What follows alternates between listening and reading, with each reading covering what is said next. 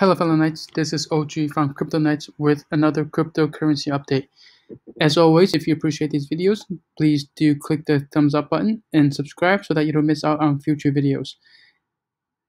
A quick update on the trade I made yesterday. We are up over 200% and right now we've come down a little bit, so currently up around still 175%. Um, this trade was up over 200% um, at one point. In any case, let's dive right in. So currently on the four hour, we're seeing bullish and bearish signs. So on the one hand, we did break out of this potential triangle formation. Right? So if we draw a line from this high to this high, and then from this low to this low, we have some sort of triangle pattern, and we had a nice breakout here. Right, this pretty large candle body here.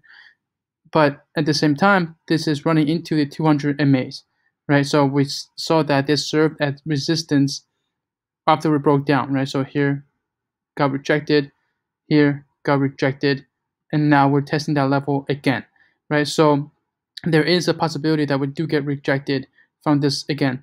Although I will say that this time the likelihood of breaking out is higher than in these previous um, cases because we did get a higher high, we do have a higher high, higher low formation suggesting bullish momentum, right?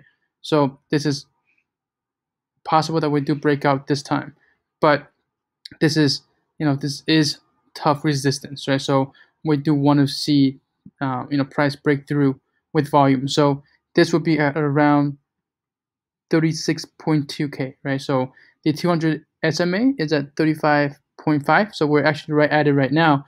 And then the 200 EMA is the at 36.2.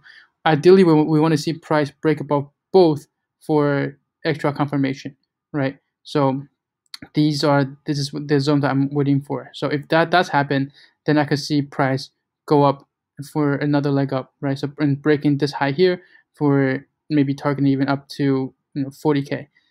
The other pattern that might be emerging is a potential channel, right? Channel or flag or however you want to call it. So we have this trend line here, and then if we have a uh, put the same thing at the top, we see this rough channel forming. So we have touch point here, we're up, touch point here, two touch points here actually, down, another touch point here, and then um, so we so we're kind of ping ponging back and forth between these two trend lines, right? So potentially we might rally up to this point, right? If we go up here, so this would be at around um, you know, yeah, like here, right? So assuming we come up come up like this.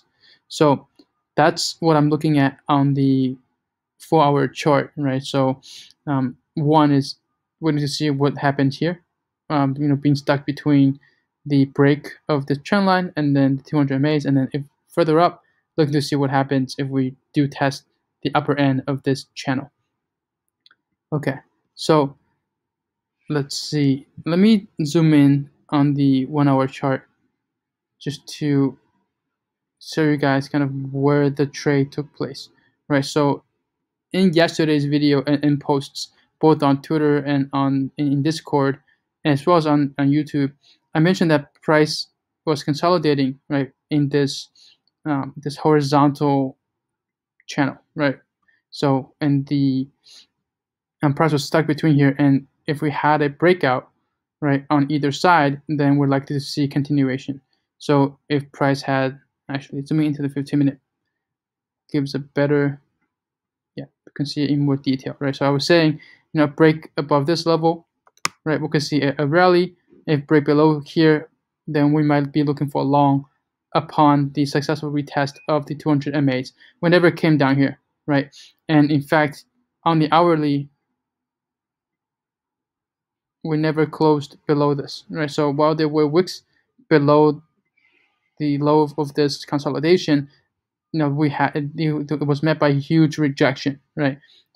Uh, bearish tried to push prices down, failed, again failed, again failed, and then eventually we broke to the upside, breaking this trend line that we saw in the four hour, and now we're kind of consolidating and we've come down a little bit from this top. So we want to see what happens here, right? So one of the things that typically does happen is for a retest of breakout before continuation. So, you know, I wouldn't be surprised if something like this happened, right? Comes comes back here and then goes up.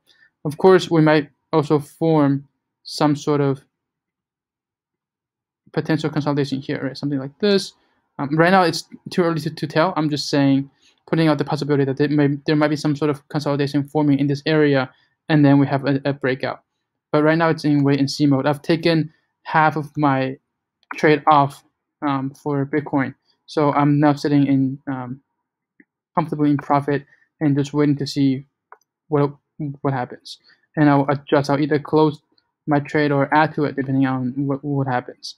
So now looking at Ethereum, and for some reason this horizontal consolidation has been playing out quite nicely in uh, in recent days. So same thing, right? We had the initial double bottom here, then we broke above, and we had the successful retest of 200 MAs, rallied again, and similarly we had this horizontal consolidation, right? Ping ponging between this high and this low, and once we broke above, and you know this is huge volume, right? I mean this this shows you this conviction, right? Look look at this, the volume was decreasing the entire time, and then boom, we had this and huge candle, and then we rallied up, right? So yeah, so this was also also could have been a nice trade here. So um, and let's see, so 175 percent, 180 percent in profit right now. This is with the remaining percent of my trade that's still open. I've already closed half around around these areas when we were up around 200%. Okay, so today's video was quite short. If you appreciate videos like this, please again do give thumbs uh, up to this video, and most importantly, subscribe and click the bell notification uh, so that you can um, jump in on these trades with me um, in real time. Right? Thank you guys, and see you in the next one.